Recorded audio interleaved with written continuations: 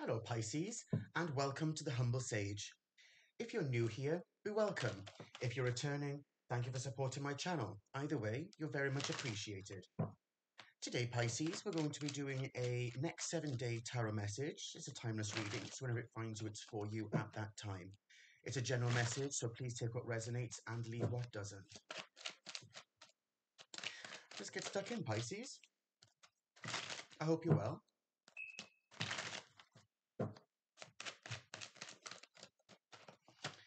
First card out, the Five of Swords, the Page of Cups.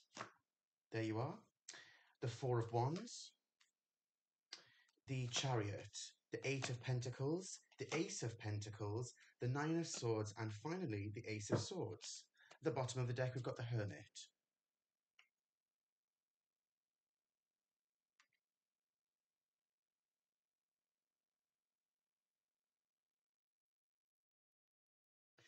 You know what, Pisces? Because you came out in your own reading, look at that.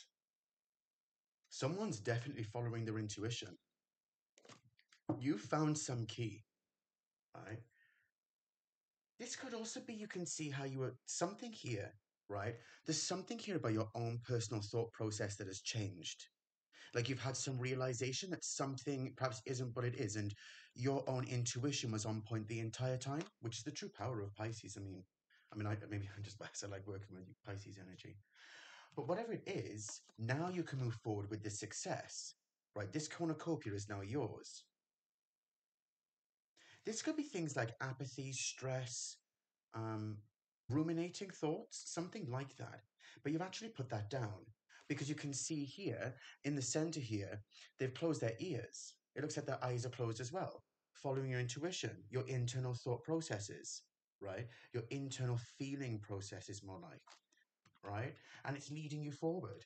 This heart energy, again, this watery energy, this is Cancerian energy. But having this balance here, Pisces energy relates to the High Priestess, Boaz and Jachin either side, and that's what we can see here. Just in this card, it's a slightly different form with Hermes driving the chariot. Or, well, Hermes is on the chariot. The universe here that is the chariot, you can see here with the stars at the top. Also present within some High Priestess cards right? Whatever this higher knowledge is, you had to receive it by going within in some way, and perhaps finding a different meditation or not listening to others in a sense. Like we learn from people with more experience, but you still have to flow with your own life's journey.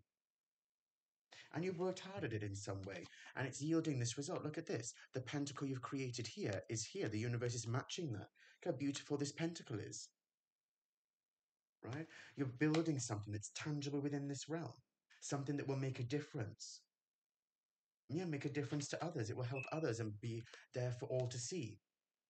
You've been prudent with this process here, and whatever it was, you know, you're coming out of this. You may have had a um, some sort of spiritual awakening, like a dark night of the soul, but you're coming out of that now, because instead of having all of these other swords, you have your own sword, your own truth, your own light. You wear your own crown there, Pisces.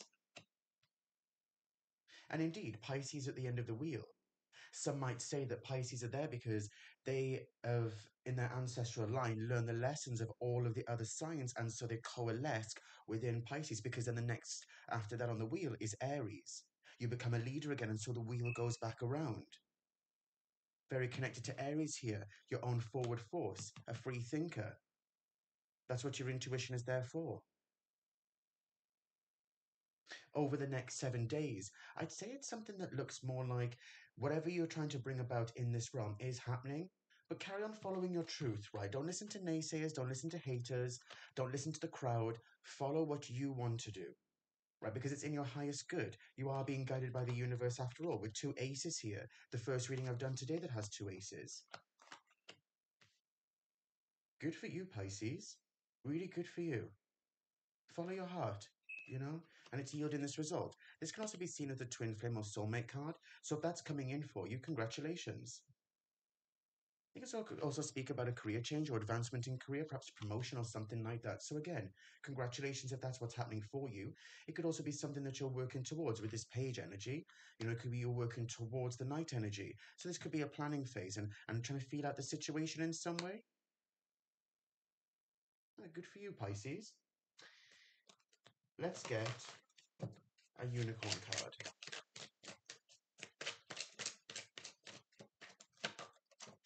Light, see the light within yourself and in everyone else.